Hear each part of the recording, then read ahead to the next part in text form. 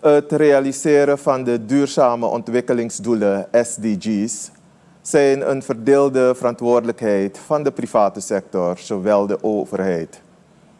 Het congres, georganiseerd door de VSB, brengt bedrijfsleven, overheid, vakbonden en maatschappelijke organisaties samen. Het doel is om de rol van de private sector te versterken bij het realiseren van de SDG's van de VN. Het congres was een voorbereiding op het 75-jarig bestaan van de VSB in maart 2025. VSB-voorzitter Rika Bisumbar belichtte de belangrijke rol van het bedrijfsleven in de toekomst van Suriname. Onze future focus, waar willen we op focussen? We moeten focussen op balancing the development and sustainability.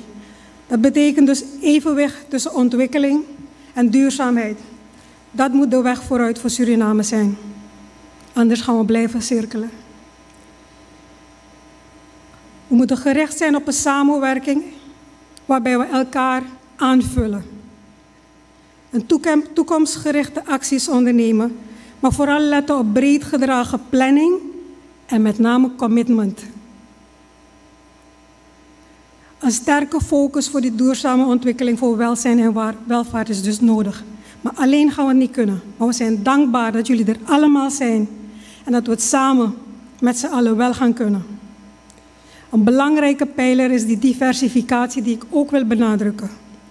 We hebben net een FID gehad en we zijn allemaal enthousiast. Maar we moeten oppassen voor die resource Diversificatie en de, de diversificatie van de economie moeten we versnellen om een sterke inflatie te voorkomen. Minister Stephen McAndrew en voorzitter van het SDG-platform Elizabeth Bradley stelde dat het bereiken van de SDG's met partnerschappen in het bedrijfsleven betere vruchten zullen afwerpen. Vanuit beide instanties wordt gekeken naar het invullen van alle SDG's met een aansluiting naar het bedrijfsleven. Omdat decent work in verschillende contexten bekeken moet worden. Sustainable development moet in verschillende contexten bekeken worden. Wat decent work is voor een bedrijf in Suriname, in Paramaribo, sorry, hoeft nog geen decent work te zijn voor iemand die in het binnenland werkt.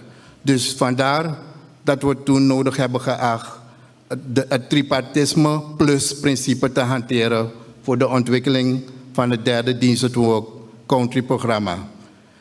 We zijn op de goede weg voor wat betreft de implementatie van dit programma. En een van de aspecten waar we het bedrijfsleven nauw zullen betrekken, is toch wel het aspect van menselijke ontwikkeling. Dit helpt niet alleen individuen, maar ook de gemeenschap. Afval verminderen, recycling stimuleren en duurzaam materiaal gebruiken helpt bedrijven SDG 12 te omarmen. Ook kunnen ze klanten aanmoedigen duurzame keuzes te maken door hen omstandig te informeren. De bedrijven kunnen SDG 5 bevorderen door gelijke kansen en beloning, zoals bijvoorbeeld ouderschapsverlof voor beide ouders. Gezonde en tevreden werknemers zijn productiever. Door welzijnprogramma's aan te bieden, dragen bedrijven bij aan SDG 3. De bijeenkomst markeerde de toewijding van de private sector aan duurzame ontwikkeling. De organisatie hoopt een sterke basis te leggen voor de toekomstige samenwerking.